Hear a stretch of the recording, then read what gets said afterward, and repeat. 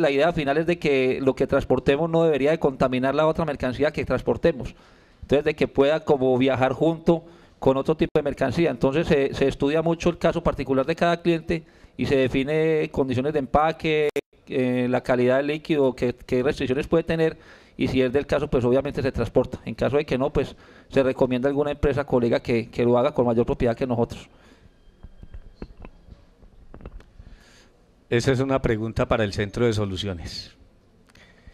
Porque si nos atrevimos a decir somos Centro de Soluciones, es porque el cliente llega con el problema y nosotros tenemos que dar la solución.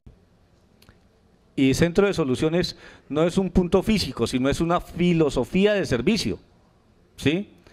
Y como tal tenemos que empezar a darle respuesta a los clientes y ya en estos momentos, eh, sí, en estos momentos precisos, tenemos un equipo de 15 personas capacitándose en Dangerous. Manejo de mercancías peligrosas. No solamente para los químicos. Tenemos que ver la forma de darle solución a nuestro cliente en todo nivel. El no se puede tiene que acabarse en nuestro negocio.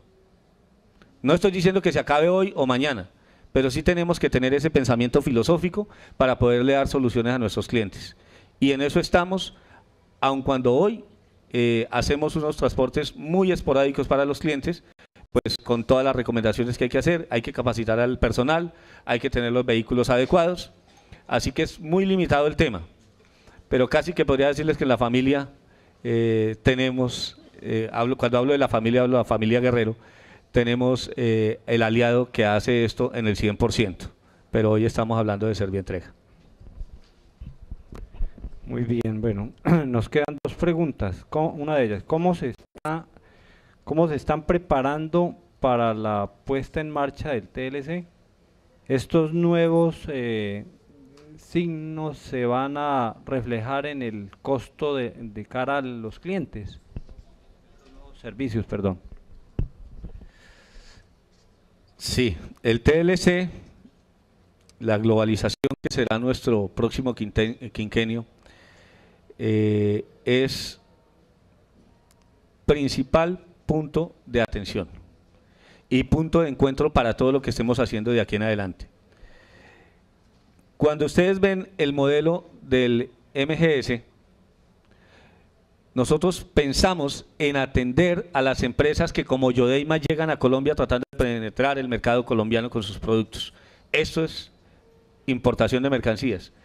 Ya tenemos varias propuestas de empresas americanas que, amparándose en el tema del TLC y la búsqueda de penetrar el mercado colombiano, nos han hecho propuestas similares, pero estamos en estudio y no se les ha aprobado todavía el ingreso. Como les digo, aquí nos toca concentrarnos en el objetivo de nuestro negocio logístico, pero es uno de ida y vuelta es obligatorio para nosotros. Si no lo vamos a hacer directamente con las oficinas, las 62 oficinas que tenemos en los Estados Unidos, algo podremos hacer de ese esquema del eh, MGS.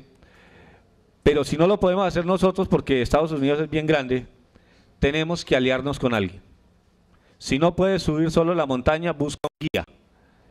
Esa es parte también de la filosofía nuestra y tendremos el aliado para aplicar el MGS en Estados Unidos y ayudar a nuestros compatriotas a que penetren el mercado americano con sus productos. Hoy tenemos varias eh, eh, estrategias que nos conllevan a aplicar lo que en eh, idioma muy boyacense hemos dado al otro lado del charco. Vamos a ayudarle a nuestros clientes a vender sus productos al otro lado del charco. Tenemos que ir y conquistar los mercados antes de que siempre vengan como normalmente pasaría, a conquistarnos.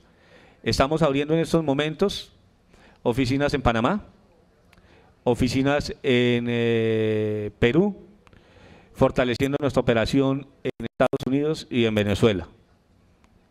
Va en Ecuador, hoy ya, como algunos de ustedes conocen, somos líderes, al igual que en Colombia, y la idea es eh, que en nuestra categoría, pues no es nuestra categoría porque, bien lo decía eh, mi colega, en la categoría de paqueteo, ¿sí? Eh, TCC tiene su primer nivel, pero en la suma de las categorías, por eso es la diferencia en la presentación de los temas, nosotros tenemos documentos y tenemos el paqueteo. o la mercancía industrial que les comentaba. Entonces, en la suma de las categorías, la diferencia es grande. Entonces, hacia eso vamos a integrar y a dar solución a nuestros clientes. Entonces, sí podemos atender el TLC y al momento creo que hay muy pocas compañías en Colombia preparadas para hacerle frente al y para ser agresivos como lo estamos haciendo en abrir en otros países y responder a esta iniciativa. Gracias. Bueno, frente a las preparaciones nuestras hacia el Tratado de Libre Comercio, pues igual como lo dice mi colega, nos estamos preparando fuertemente. Ya a lo último, si bien es cierto, el slide lo pasamos rápido, pude presentar algunos de los servicios y diría que la estrategia nuestra obviamente está en tres, en tres esquemas. Uno, la apertura de, de, oficinas nuestras en donde los estudios de mercado nos lo permitan en, en la, la parte del exterior. Segundo, hay un servicio que no mencioné, el tema que estamos denominando puerto a puerta que es un servicio que estamos prestando tanto de salida como de llegada, desde los puertos a la, a la puerta de nuestros destinatarios y, y, el tema de las alianzas. Obviamente el tema de las alianzas lo hemos visto como una gran alternativa. Seguimos robusteciendo nuestra alianza con DHL y creemos que eh, habrán otras empresas, sobre todo en los Estados Unidos, que, que, estamos buscando hacer algunas alianzas con ellos, como les digo, donde el estudio de mercado no nos permita abrir algunas oficinas pero igual nos estamos preparando muy fuertes para hacer una muy buena opción para todos nuestros empresarios en el tema de comercio exterior. Eh, una pregunta muy afín a la distribución capilar que, que hacen. En Colombia hay aproximadamente 1.100 municipios o cabeceras municipales. ¿Qué porcentaje de ellos se cubre con el servicio? Eh, doctor Rincón, inicialmente. Bueno, Cubrir implica eh, llegar, independientemente de cómo se haga. Pero qué bueno es cubrir directamente, con una logística propia, controlada de principio a fin, eh, tratando de tercerizar al, en la menor cantidad posible. Hoy tenemos 688 destinos, ¿sí? de los cuales 560 son cubiertos directamente por Servientrega. El tema de reexpedición o del trayecto especial atendido por un tercero es algo bastante difícil de controlar. Y aun cuando en ese caso, eh, pues hay que aplicar la ISO, no solamente para los eh, colaboradores que trabajan directamente eh, con Servientrega, sino para aquellos que llegan a tercerizar el proceso, pues es mucho más difícil hacer que el servicio se cumpla al 100%.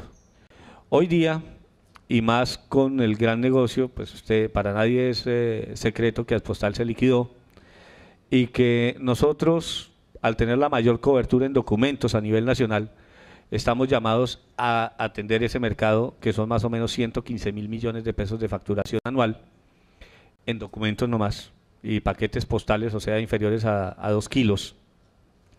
Pues estamos en la obligación de abrir más cobertura en estos días se presenta el proyecto final para abrir 220 nuevos municipios, que básicamente estarán concentrados en atender el correo social. Ese correo es supremamente costoso porque hay sitios donde hacer una entrega hoy nos puede estar costando alrededor de 500 mil pesos. Porque hay que ir en carro o en avión, luego en carro, luego en chalupa y un rato a caballo y después a pie. Son sitios que realmente son muy costosos para poder acceder a una entrega. Sí, son 1.158 municipios que tenemos codificados nosotros y de esos aspiramos a cubrir el 100% antes del 2009. Bueno, en el tema cubrimiento, nosotros en TCC tenemos codificados los 1.158 municipios. A todos ellos ofrecemos el servicio. Obviamente, como ya lo aclaramos, eh, no todo lo hacemos directamente, algunos se hacen a través de lo que nosotros denominamos respedidores. Y digamos que el único momento en que vetamos, entre comillas, algún municipio era en, en aquella época de bárbaras naciones donde los amigos de lo ajeno no nos permitían llegar. Pero nuestro servicio y nuestra tabla de tarifas está abierta para ofrecer el servicio a todos estos municipios de Colombia. Eh, bueno, dos preguntas y terminamos acá la sesión. ¿Podrían contarnos sobre las herramientas informáticas utilizadas para coordinar despachos y recogidas? ¿Cómo asignan los vehículos?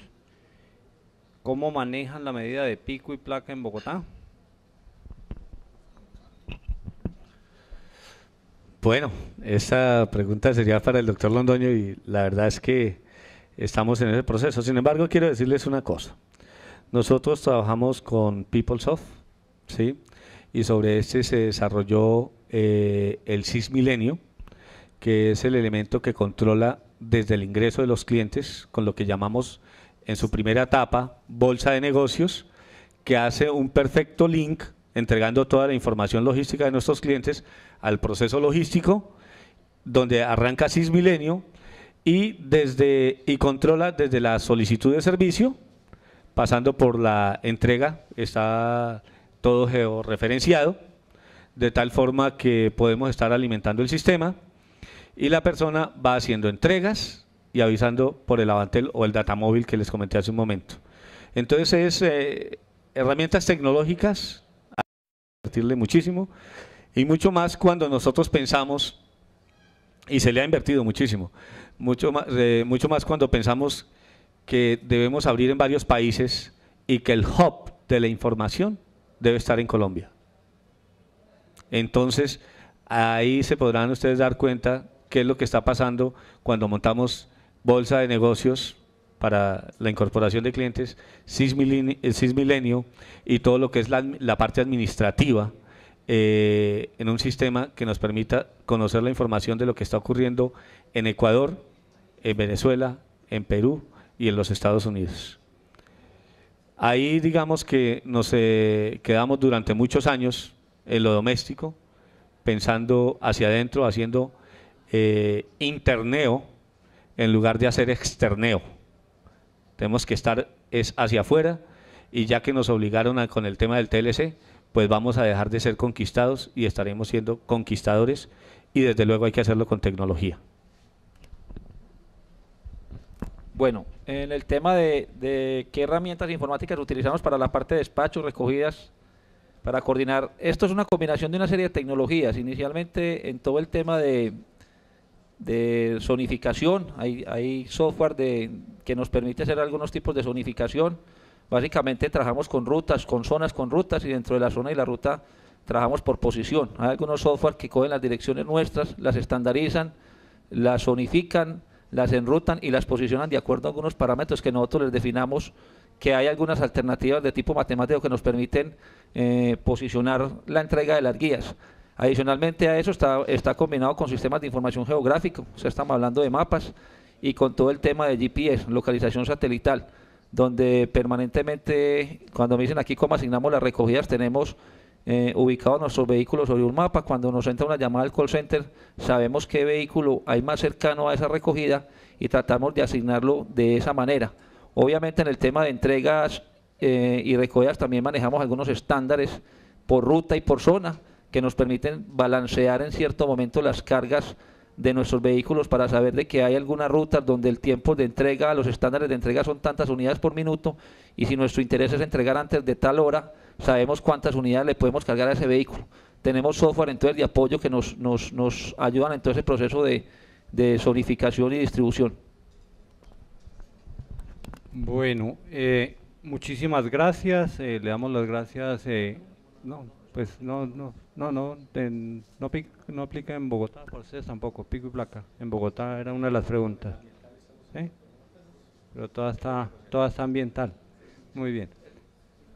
En el tema de pico y placa, eh, normalmente en aquellas ciudades donde lo han aplicado, eh, las empresas transportadoras no tenemos mayores inconvenientes, como lo está diciendo aquí eh, mi colega, hemos tenido algún inconveniente últimamente en Bogotá con el tema del control ambiental. Mm, es más por ahí, por el del lado, yo diría que pico y placa hemos logrado que, en los decretos nos, eximan nuestros vehículos, pero en el tema de, Bogotá seguimos haciendo lobby, como dice el cuento, para ver cómo superamos el tema del control ambiental. En, Pasco, en Pasto sí hay pico y placa para los vehículos, incluso a los nuestros, y, y lo que hacemos son estrategias de, de distribución desde algunos puntos fijos sin utilizar el vehículo.